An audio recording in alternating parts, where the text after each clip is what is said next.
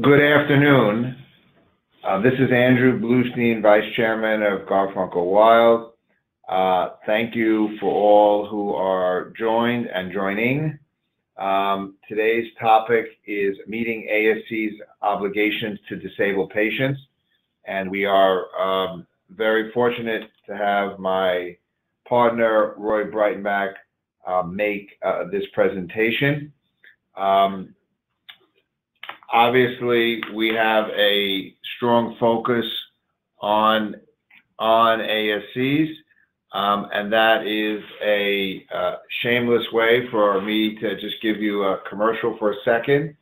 Um, there's the fifth annual New York Metro ASC Symposium that's happening on November 2nd.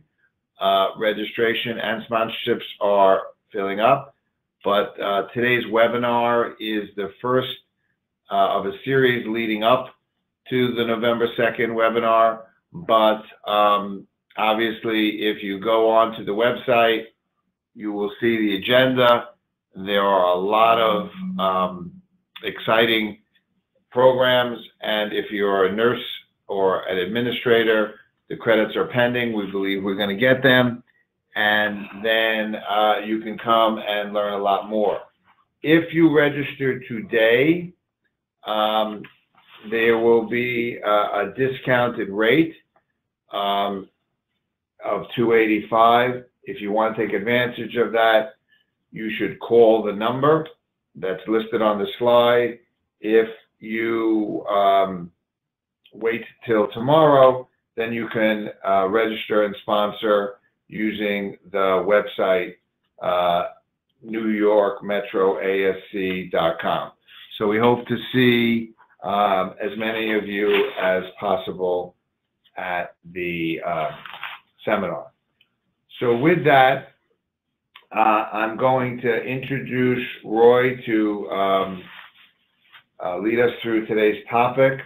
Uh, Roy joined Garfunkel Wild in 1994, and he is co-chair of the firm's litigation and arbitration group and a member of the appellate litigation, employment law, environmental practice, personal services, and estates planning groups.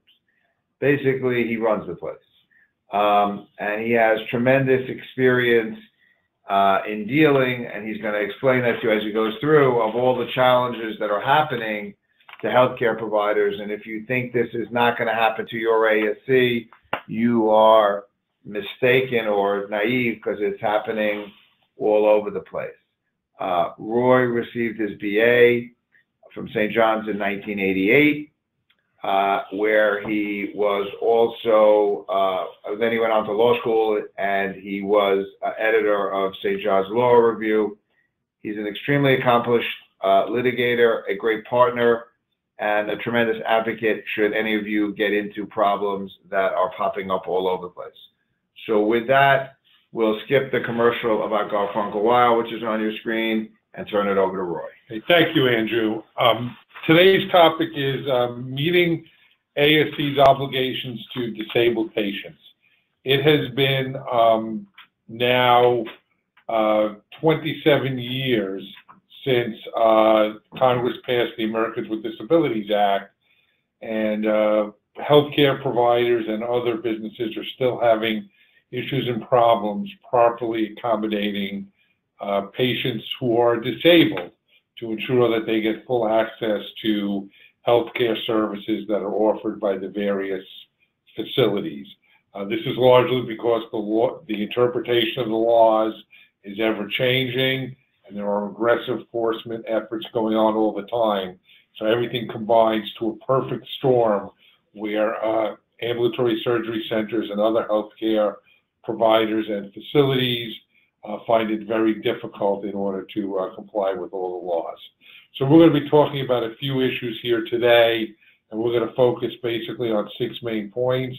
Uh, the overall obligations of healthcare providers with a particular emphasis on ambulatory surgery centers and how to uh, ensure full and equal access to patients who are disabled, uh, what, what changes in policies and procedures ambulatory surgery centers need to make sure that they have to uh, fully accommodate uh, patients who are disabled, how you provide, how ambulatory surgery centers provide uh, auxiliary aids and services uh, in order to ensure that patients who are deaf and other similar disabilities can fully enjoy the services, kind of an overall view of policy, procedure, and training to make sure that there's compliance uh, going forward, and then two particular topics which are very hot right now, which is making the physical premises, your physical ASC space, accessible to persons who are disabled,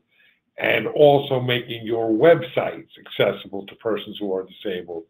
The last two issues are the subject of much litigation throughout the New York area.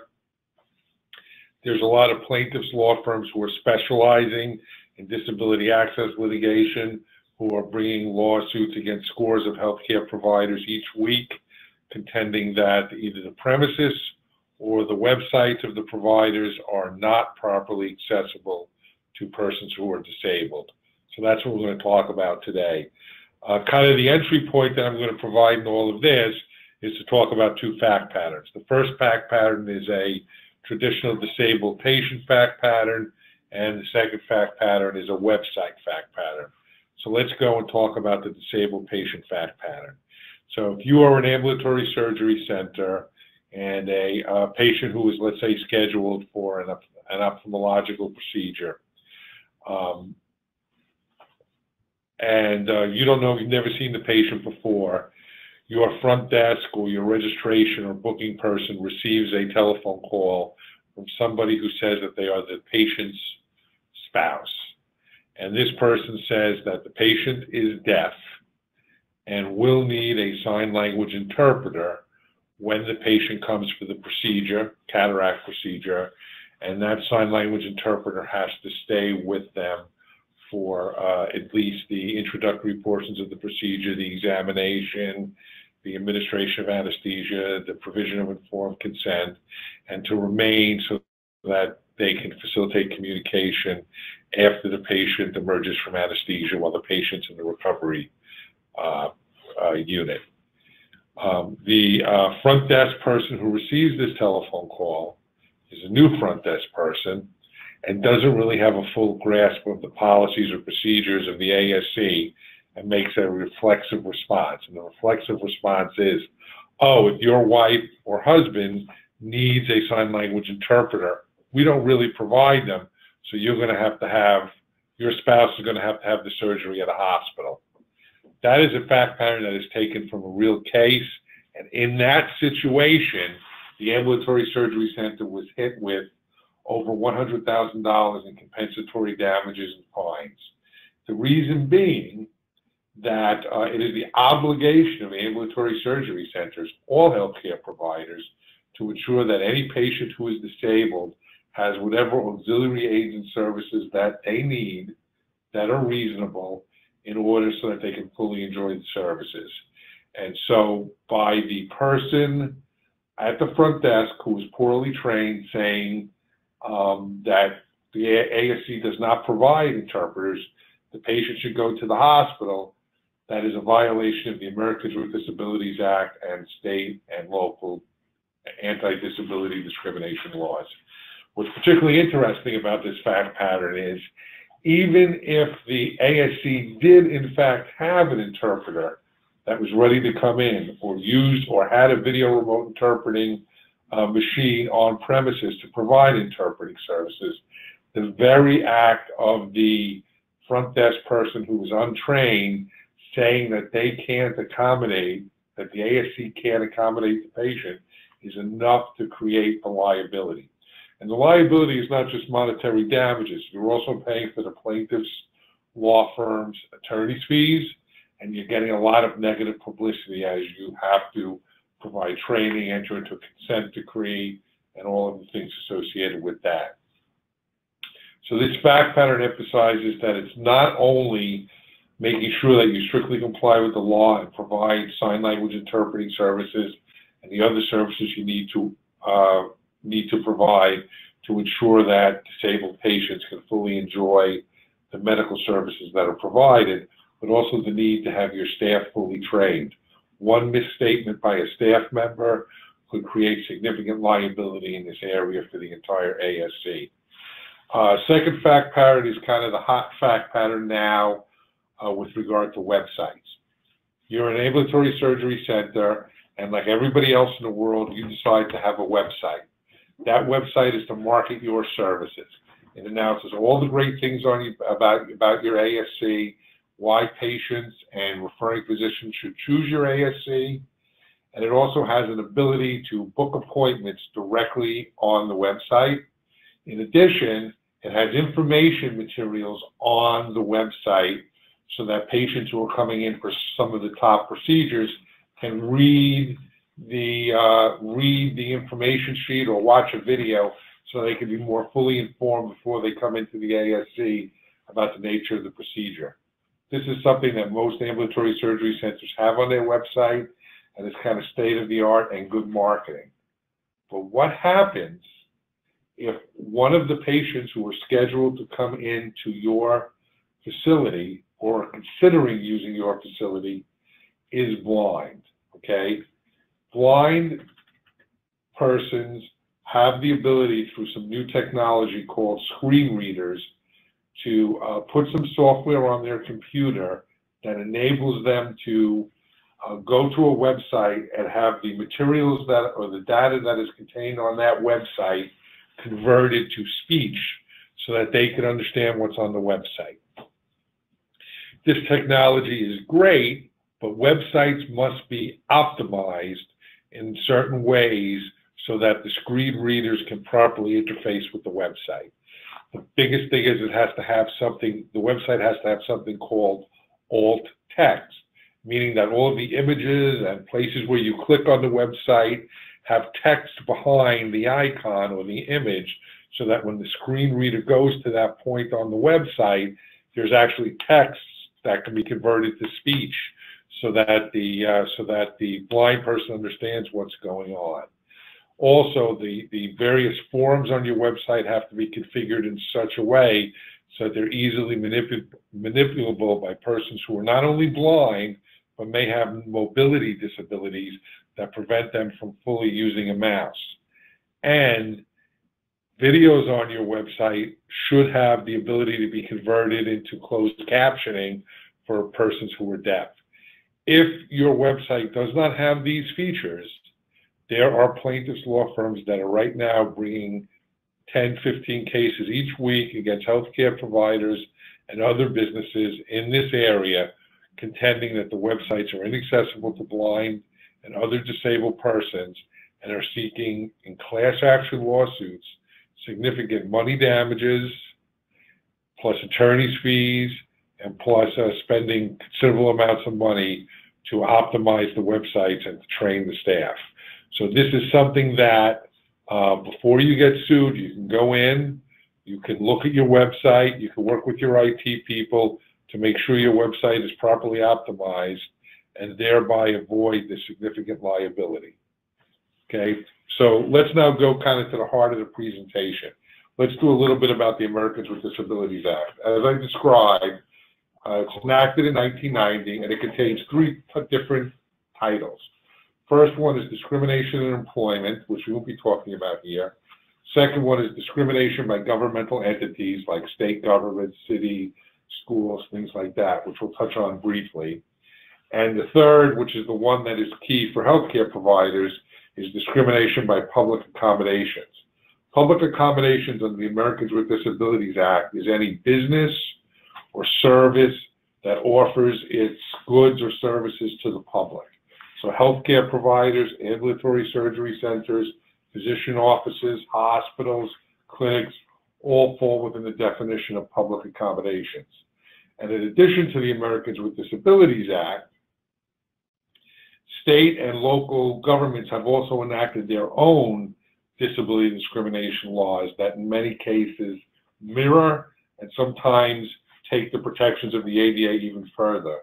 The local laws that might apply to you are the New York State Human Rights Law, which applies throughout New York State, the New York City Human Rights Law, which applies to businesses in, in New York City and contains some pretty uh, increased or enhanced provisions over and above the ADA. the Connecticut Human Rights and Opportunities Act, which would govern providers in Connecticut, and the New Jersey law against discrimination. Um, basically, um, there are um, four key principles you have to remember about the Americans with Disabilities obligations concerning uh, disabled patients. The first is the general overall one that it's illegal for anybody, any healthcare provider, any other business, to to to discriminate against people with disabilities. Okay, but unlike some of the other anti-discrimination provisions, such as sex discrimination, race discrimination, national origin discrimination, Title III doesn't just prohibit discriminatory conduct, treating disabled people differently, talking poorly about disabled persons. Title III of the Americans with Disabilities Act also contains an affirmative obligation. And that affirmative obligation is, is, is known as the obligation to provide reasonable accommodations. Okay? A healthcare practice has an obligation, an affirmative obligation, to provide reasonable accommodations in order to eliminate barriers that prevent persons with disabilities from fully enjoying their services. So if there's a barrier or at your facility, it can be a physical barrier, it can be a policy or procedure that is preventing a person who is disabled from fully accessing the services that you offer, you have an affirmative obligation to search for and, if you can, provide a reasonable accommodation to eliminate or enable the disabled person to overcome that barrier. And if you don't do that, if you fail to provide that reasonable accommodation, you are guilty of disability discrimination and subjected to all of the penalties associated with disability discrimination. Okay? There are basically three types of reasonable accommodations that healthcare practices and other businesses have to provide. They are one, required changes to policies or procedures, two, provision of auxiliary aids and services, and three, removal of architectural barriers. So we'll talk about all three. Okay, required changes to policies and procedures are simple, right? If you have a policy or procedure and that presents a barrier for a person who's disabled, you have to enable them to overcome that policy or procedure. Classic example is companion or service animals, right? Most ambulatory surgery centers are going to have a provision, we're going to have a policy or procedure that's dictated by the regulatory authorities that say no animals allowed in the facility. Can't have somebody in the facility who's an animal, right? However, if you have that policy or procedure, that presents a barrier to a disabled person who uses a service animal, okay, and needs the service animal to help them overcome their disability. So, if that policy or procedure were to apply to them, they couldn't fully enjoy the services you're offering because they wouldn't have the ability to have the service animal assist them while they were on your premises. So the Americans with Disabilities Act and the state and local laws would require you to make an exception to your no animal policy in order to accommodate a disabled person who uses a service animal. And we'll talk about that later. Second kind of classic example of, sure, most of the ASCs have a policy or procedure that requires a patient coming in to fill out a form that contains information to register and provide your medical condition. And that form has to be fully completed before you take the patient in the back or before you do anything with the procedure. But somebody who is blind can't use that form. So you're going to have to have some alternative policy or procedure so that the blind person can provide the information that's needed in order then to go back and access your services. So those are kind of some examples of required changes to policies or procedures. The second one is, the, is really the one that was the first that was most heavily litigated uh, for healthcare providers, and that's the obligation to provide auxiliary aids and services. In order to provide uh, equal access, healthcare providers, like all public accommodations, must provide auxiliary aids and services for people who are deaf or hard of hearing when needed. The whole concept is, is that if you want to, if, you have a good in service, or you, you, let's say you're providing healthcare service, in order to afford a person who is deaf with the same access to that service as a hearing person, you need to have some mechanism to provide that person who is deaf with effective communication about their medical condition, treatment, and prognosis. And that, the means by which you provide that effective communication is the provision of some auxiliary aid or service. That can be interpreters, it could be pen and paper, depending on the circumstance, it could be lip reading. There has to be some auxiliary aid or service that needs to be provided to ensure that the deaf person has effective communication about their medical condition, treatment, or prognosis. And as we'll talk about, this is not a continual obligation, but only for the key parts of the uh, patient's treatment. Although in the ambulatory surgery context, it's going to be, be because you, usually patients are not staying overnight. It's usually going to be for most of the time that the patient is in the ambulatory surgery facility. You're going to have to provide interpreting services or some other similar auxiliary aid and service. So we'll talk a little further about that.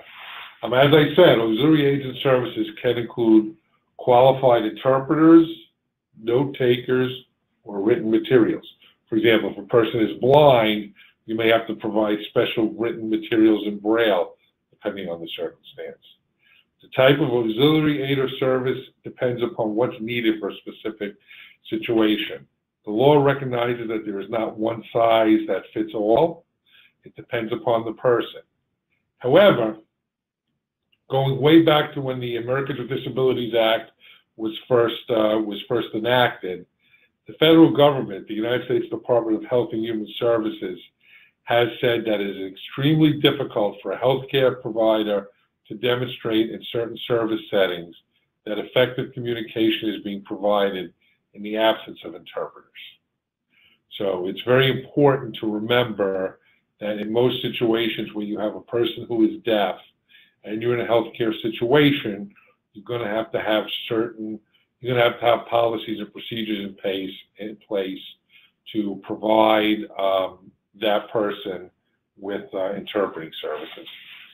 And that's especially the case since the passing of the Affordable Care Act. With the passing of the Affordable Care Act, uh, Congress made it clear that you have that a public accommodation, a healthcare provider, has to give careful consideration to a patient's preferred means or preferred auxiliary aid or service when dealing with a patient who is deaf. So, for example, if a patient is saying or requesting an interpreter, it's incumbent upon the healthcare provider, the ambulatory surgery center, to provide an interpreter unless they have a really good reason why they, in, in a certain circumstance, there's another mechanism that will be equally as as effective to uh, provide the effective communication. So the whole thing turns around on who is a qualified interpreter. Inter a qualified interpreter is someone who is able to interpret effectively, accurately, and impartially, both in providing information and receiving information use, using any specialized vocabulary. An individual doesn't have to be certified. There's no magic certification. It's just that given the unique circumstances, the person is qualified to provide interpreting services. Um, I know that there's a trend in many places to allow a family member to be used as an interpreter. Family members under the law are not considered appropriate interpreters because they have emotional or personal involvement with the patient, which raises issues of their impartiality, and, and they, may, they may find it difficult to maintain confidentiality. So unless the patient absolutely insists that the only person that they want as an interpreter is a family member, and the ASC explains fully that a family member may not be the best interpreter and that they can receive an independent interpreter, uh, facilities should almost always get a qualified independent interpreter. Now, the key interactions where effective communication is needed, and ambulatory surgery centers should make sure that they have uh, a sign language interpreter or some other equally effective means of communicating with the patient, or any discussions of the patient's medical conditions, symptoms, or history, reviewing or explaining uh, informed consents, explaining what medications you're being you're prescribing or are being sent home with the patient, and dealing with complex billing and insurance issues. Now, sign language is a confusing concept, and the one takeaway message is, is that there are multiple sign language systems in the United States. Not everybody speaks the same sign language, so it's very important that when you're getting a sign language interpreter, to make sure that there's a period of time in which the sign language interpreter becomes comfortable with the deaf person and that they can both verify that there is effective communication that is going on. Because if because of some idiosyncrasy in the way the uh, deaf person communicates, that sign language interpreter can't communicate or doesn't use the same sign language as the deaf person, you don't have a qualified interpreter and you have to find somebody else. Um, one solution that many healthcare providers have found uh, in providing interpreting services is the use of video remote interpreting. Video remote interpreting is a computer system. Nowadays, it's usually on the basis of an iPad or on the tablet that uh, connects to some high-speed internet access and basically allows a um, an interpreter at a remote location using the video technology of the computer device to provide interpreting services remotely to the patient. So through the camera and the screen, the patient signs, uh, and then that signing is picked up through the internet to the interpreter at the remote location, and then and then the interpreter voices back what what was said to the uh, medical personnel in the room. Um, there are there are a lot of pros to video remote interpreting, but there also are a lot of problems with regard to video remote interpreting. One of the main issues with concerning video remote interpreting is that um, you need to have high-speed internet access with sufficient bandwidth to ensure high quality uh, full motion video and audio. So if you don't have a good internet connection, uh, video remote interpreting is not going to be effective and is not going to satisfy your obligation to provide effective communication. Um, you need to have a sufficiently large screen, and your personnel needs to be trained to set it up. You also have to be prepared for what you're going to do if a patient objects to using it. Many deaf patients do not like to use uh, video remote interpreting, and uh, you have to be prepared to deal with their objections um, you can insist that a patient does use it if you believe their objection is not legitimate and that there's effective communication going on. But you have to proceed very cautiously in that area because if you do not, uh, the concern is that you're setting yourself up for a potential claim. Um, there are some contraindications where you should never use video remote interpreting. Obviously, if the patient has limited ability to see the video screen, if the patient has a limited ability to move the head, hands, or arms, the patient has visual limitations, cognitive issues, consciousness issues, or pain issues, they all may be contraindications for use of VRI. Um, so let's now go to the next big section, which is the removal of architectural barriers. Okay, in addition to providing auxiliary aids and services, um, there's an obligation on the part of ASCs to remove architectural barriers that prevent patients with disabilities from fully accessing the provider's services. This is more than true architectural barriers, such as a door or things like that. It also includes such things as policies and procedures, lowering counter heights, providing accessible medical equipment, equipment to transfer a wheelchair-bound patient into onto a treatment gurney, things like that. Um, basically, providers who are constructing a new facility or substantially renovating an older facility must comply with accessible design guidelines issued by the United States Department of Justice. basically, if you've donated to your facility after 2003, you have to comply with these uh, architectural guidelines, which set forth precisely what you need in terms of a door, in terms of a width of hallways, where signage is placed, what you need for bathrooms, number of handicapped accessible bathrooms, etc.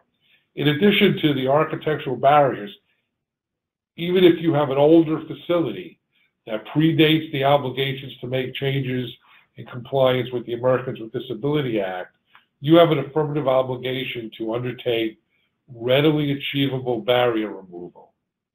So that would be such things as making sure there's an accessible path of travel for a wheelchair user from the front door of your facility all the way through all of the public areas of your facility into the surgery room so that the patient can receive treatment, uh, making sure that you have counters that are at, a, at, a, at an acceptable height for somebody sitting in a wheelchair, making sure that there's at least one handicapped accessible bathroom, uh, and being willing to alter your policies and procedures regarding intake to, to accommodate somebody who's in a wheelchair or otherwise mobility disabled.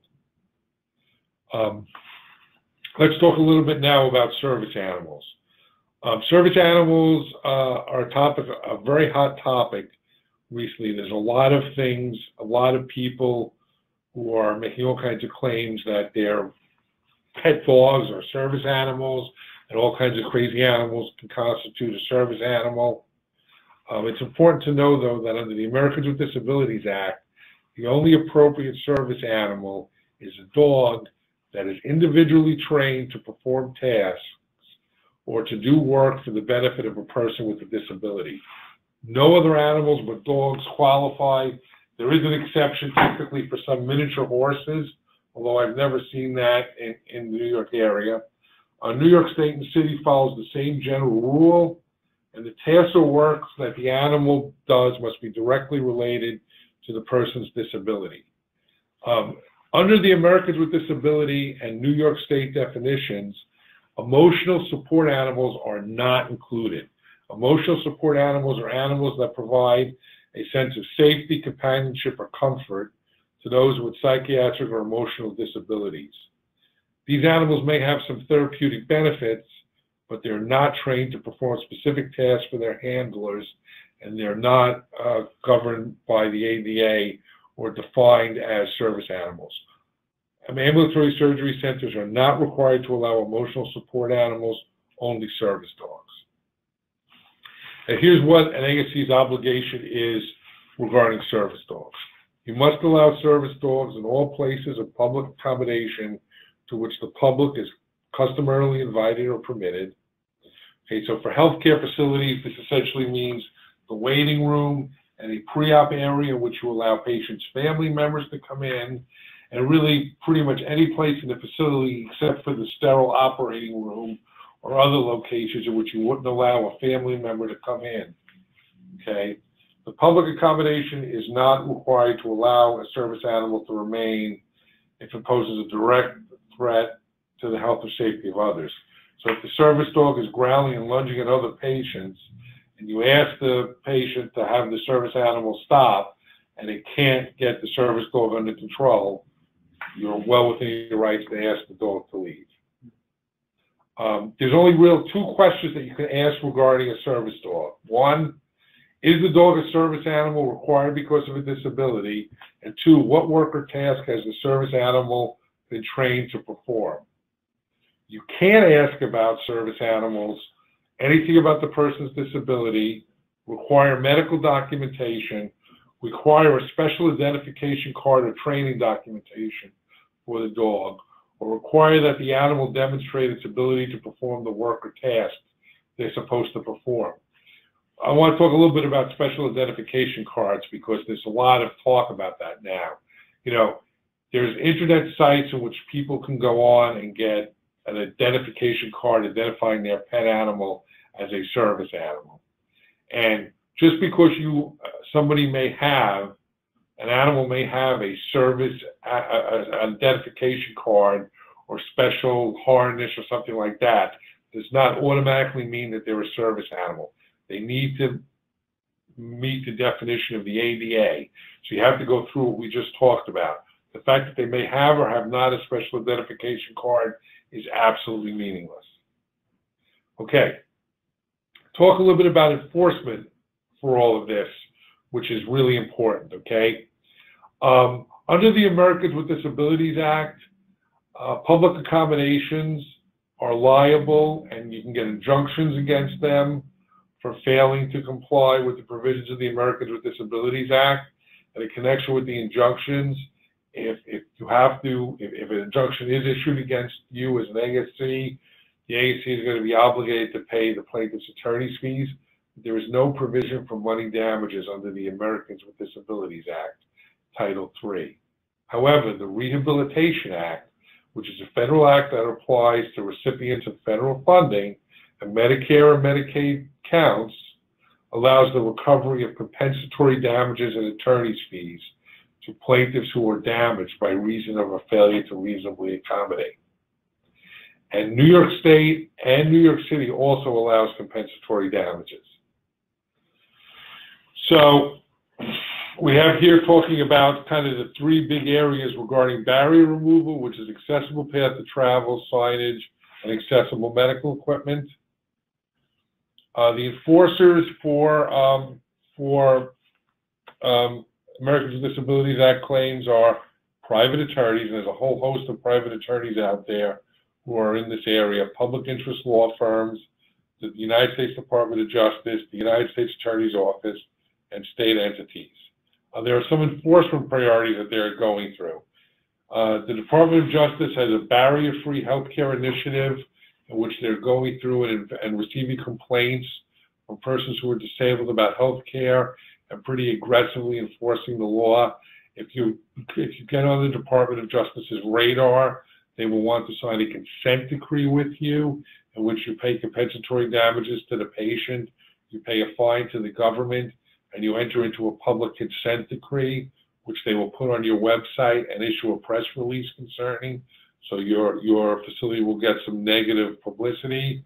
There's also a plaintiff's law firm, Eisenberg and Baum, that has a Center for Deaf and Hard of Hearing and are aggressively bringing cases against healthcare providers, contending that they're not uh, ensuring that patients who are deaf receive qualified sign language interpreting services.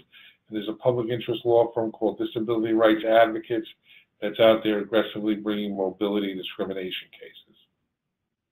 Um, how do you minimize the risk for all this? Well, it comes down to policy, procedure, and training. You need to make sure that you have a policy that complies with the law. You need to make sure that you have procedures in your office to ensure that everybody understands and knows what to do when dealing with the request for reasonable accommodation, and everybody has to be appropriately trained. Um, policy is important because if you have a if you have a, a, an important policy, it avoids the argument that you were deliberately indifferent to the needs of the disabled which is what a plaintiff has to show under the Rehabilitation Act in order to uh, get money damages. It's also what the agencies first look at if they're, they're investigating you. Do you have a good policy in place? Any policy needs to have a point person that, that, that is the person who answers all questions regarding disability issues. That person has to be knowledgeable.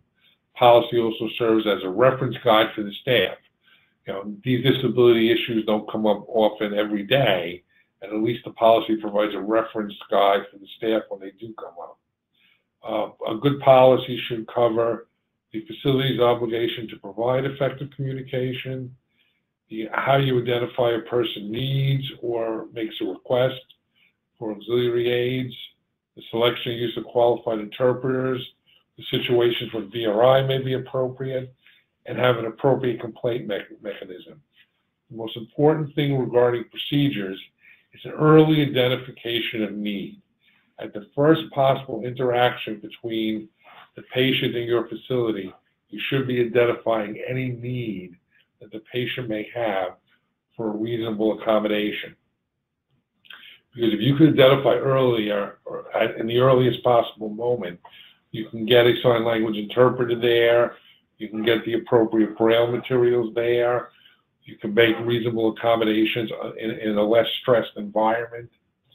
Um, another important procedure is documentation of requests for auxiliary aids and services and reasonable accommodations. Very important.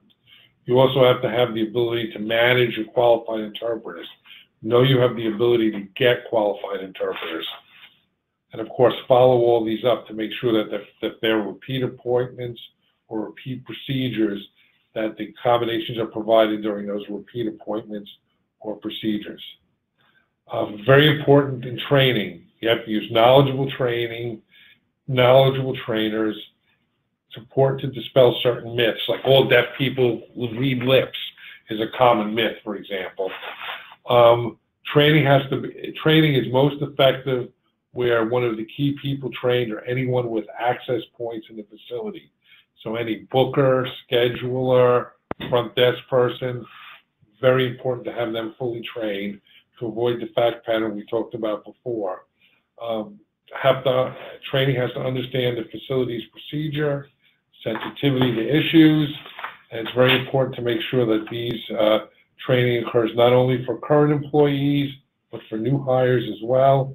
And the training is repeatedly refreshed and updated as situations change. Let me end with a little bit about website accessibility, which as I talked about before at the beginning, is a hot topic. Okay. Um, as we've talked about throughout this, Title III of the Americans with Disabilities Act concerns disability access for public accommodations. There's always been a question whether or not a public accommodations website is also a public accommodation. The law throughout the country has been un, unsettled the Department of Justice says that under Title III, not only does the physical facility have to be uh, free from disability discrimination and accessible, but any websites that the facility uses also has to be accessible to disabled. And so for the last 15 years or so, private litigants at the Department of Justice have been filing legal actions based on allegedly inaccessible websites. And in the last six months, there's been a rash of these lawsuits filed against healthcare providers in the New York metropolitan area. Um, as, as I've just explained, the trend of law favors website accessibility obligations. Um, and there are special rules for healthcare providers. Uh, basically, under the Affordable Care Act's Meaningful Access Rule, um, providers must provide accessible electronic information technology to patients who are disabled. And um, so that provides yet another reason why website accessibility is important for healthcare providers.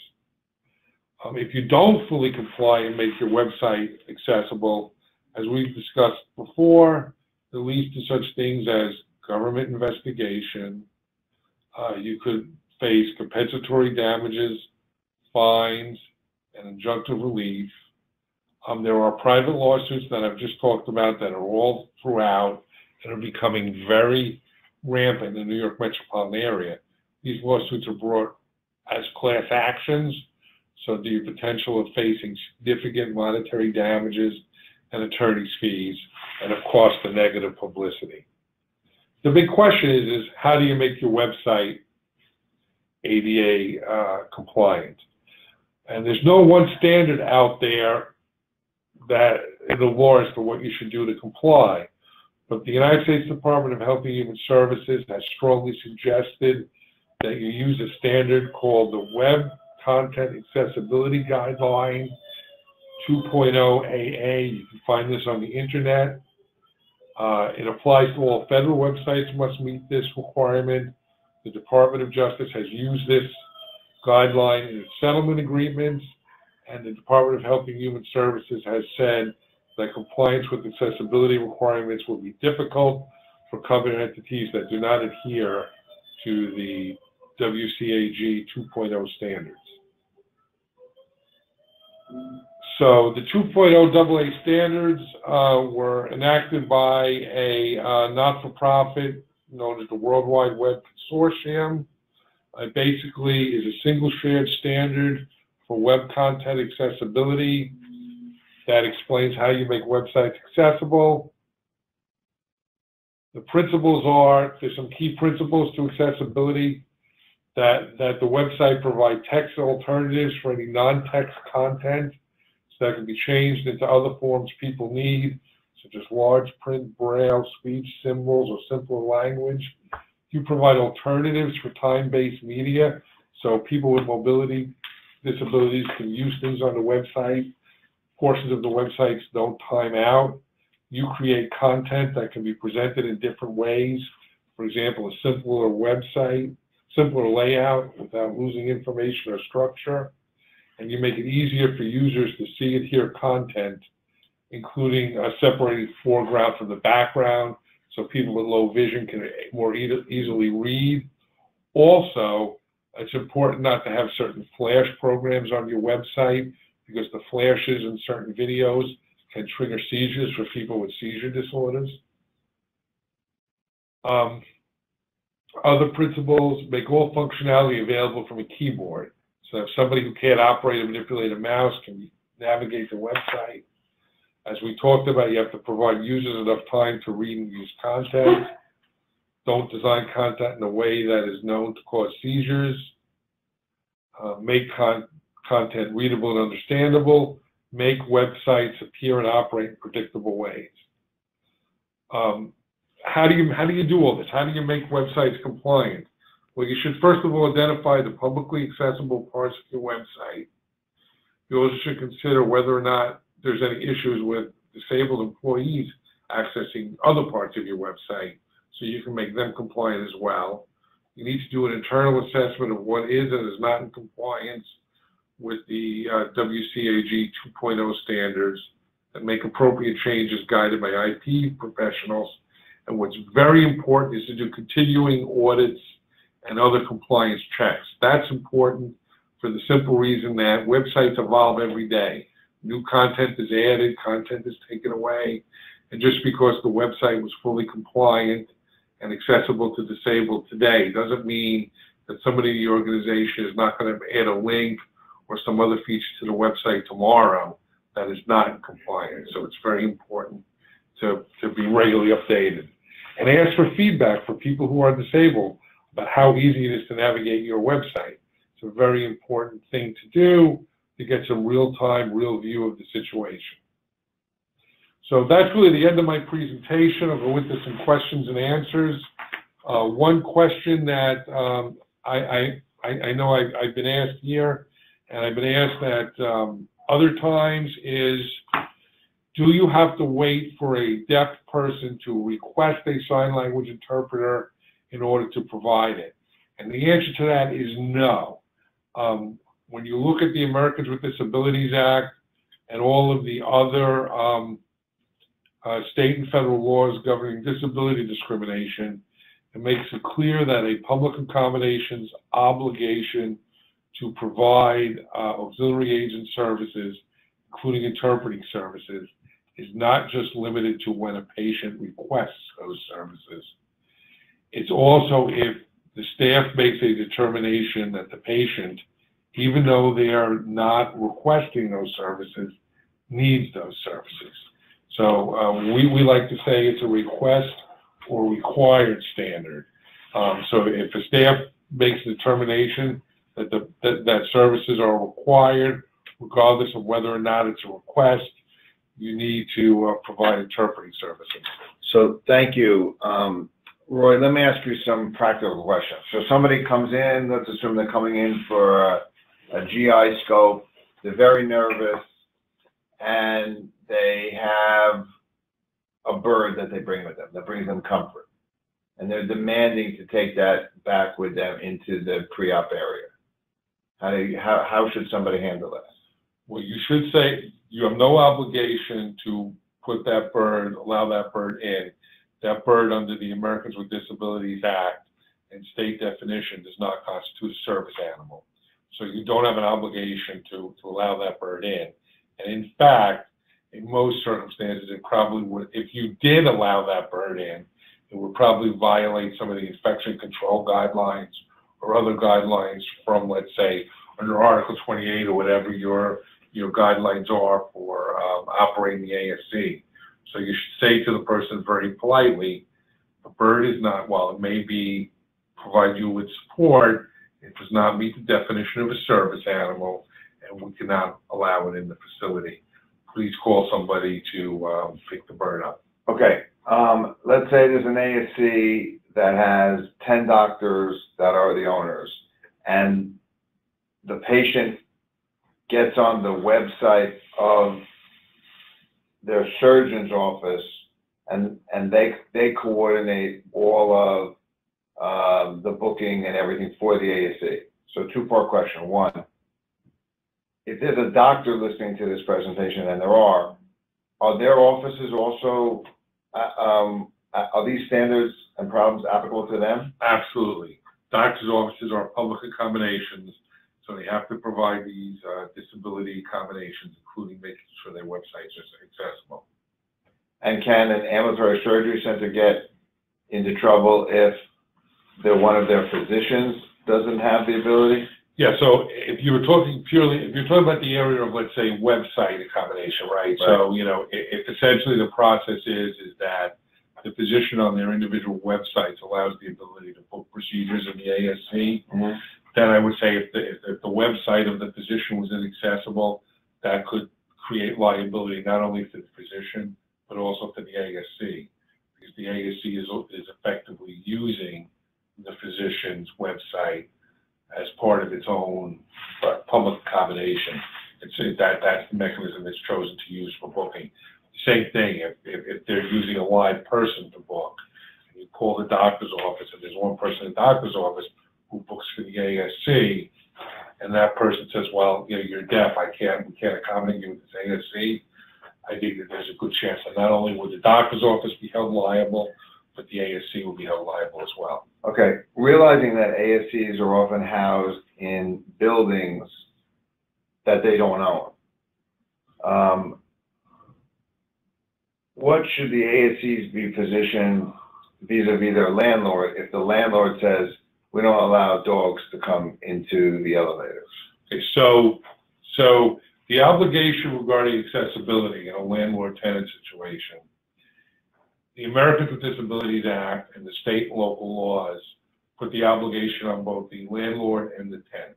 So they're equally responsible for ensuring that the facility is accessible. And so if a patient sues, they oftentimes sue both the landlord and the, and the actual tenant together. Now, the lease can allocate out responsibilities in the lease that's between the two of them to say that it's the responsibility for certain things for the landlord or the tenant, but for an outside person, both are equally liable. In the situation that you just presented, I think it's incumbent upon the facility to reach out to the landlord, to point out to the landlord that their policy or procedure is violating the Americans with Disabilities Act and state law. They're subjecting themselves to significant liability and fine, fines in addition to subjecting us as the tenant to the ASC to significant liability and fine, and we would look to hold them responsible to the extent that we were sued for it as well. Okay, great. Okay, so, um, so this has been fascinating and scary. I'm sure the AACs that join are, are concerned. Uh, we're here to help with policies, dealing with landlords, dealing with whoever. Uh, we're help, we can help get the technology in place on your websites and, and negotiate those contracts. Um, but again, uh, if you want to register for the seminar, do that today by calling the number. Tomorrow you could use the website, but it won't be at the discounted rate. And Roy, I want to thank you. This has been a fascinating presentation. Thank And you. we're also going to be posting this on the New York Metro ASC website. So if you want to tell people about it, they can get on there. There'll be a link to it. So very thank you much. and have a good afternoon.